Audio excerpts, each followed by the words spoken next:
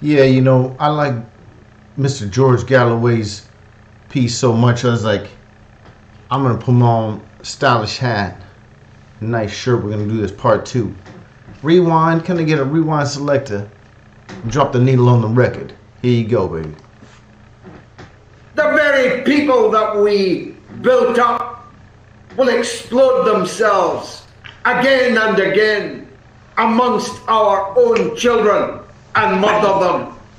Our own wives and children at a Christmas market in Germany or somewhere else will be mowed down by a truck driven by a madman from an organization that we ourselves have built up. No, no, no, no, no, no, no. This motherfucker did just not say that Trudeau used our taxpayer money to do this. Shamima He did not Begum say is that. the proof.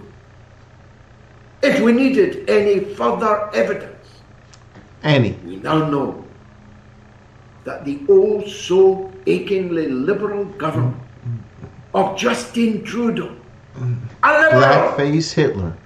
had his intelligence service ferrying terrorists and brides for the terrorists from European capitals to the murder hellholes held by Shameful motherfucker. Raqqa, Who the fuck ever where thought Trudeau was a good were idea? running with blood. Western hostage blood, Syrian blood, terrorists murdering each other blood.